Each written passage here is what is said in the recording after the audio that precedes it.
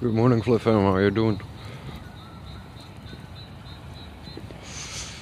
Uh, trick question. When you're thinking, is it important to be sober?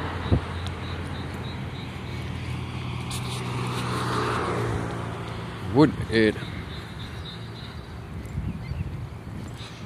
change your thinking if not sober?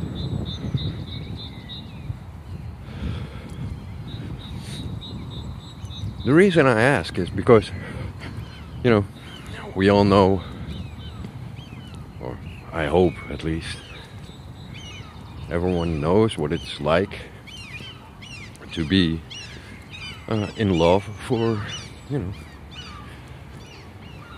a while and have all those hormones raising in your body.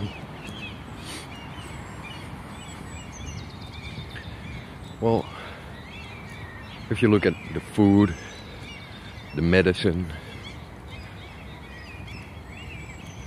how much of that is hormones? And how much does that affect your thinking?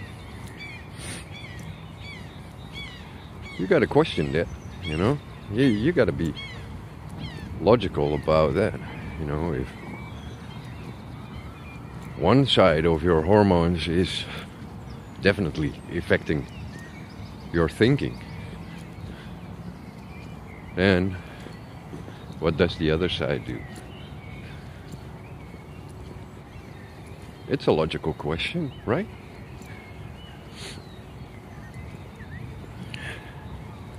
And then How much so?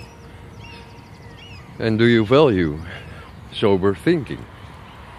Or do you think you can think better when you're not sober?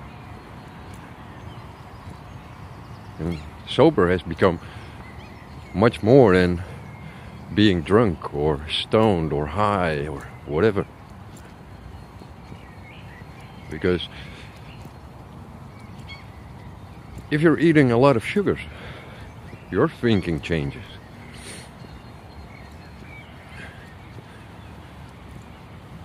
If you eat a lot of junk,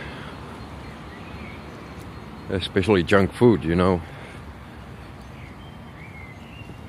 that changes your thinking. So, how important is it to be sober? You know, falling down into music again. You know, the song Sober from Tool.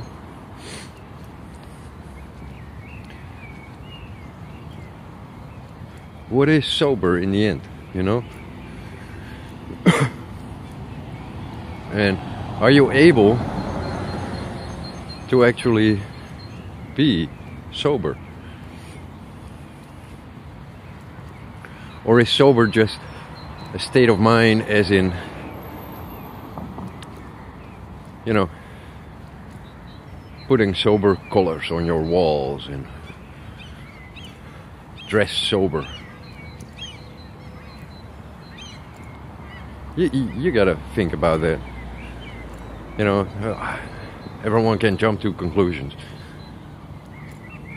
But it's more fun to actually understand what we're talking about. And for all those women out there, what if the pill is meant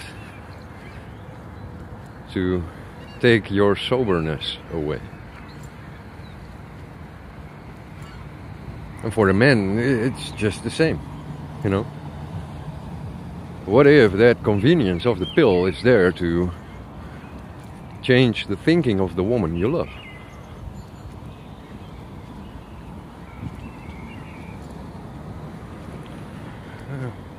Tricky questions. So, you know, try to address that for yourself. Because it might help you in the end. if you understood whatever the fuck is going on. Who cares, you know? Well, anyway, see you later. Have fun and much love.